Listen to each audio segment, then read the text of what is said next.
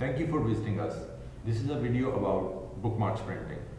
We are talking about 2x6 size bookmark. You can have it printed on both sides according to your required color scheme. Standard material used for its printing is 310 GSM, 100 LB or 12 PT cardstock. You can have it in any shape you like.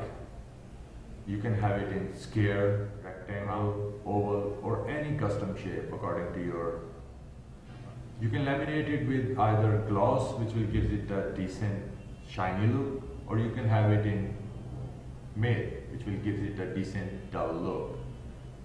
You can customize this product according to your desired quantity and size.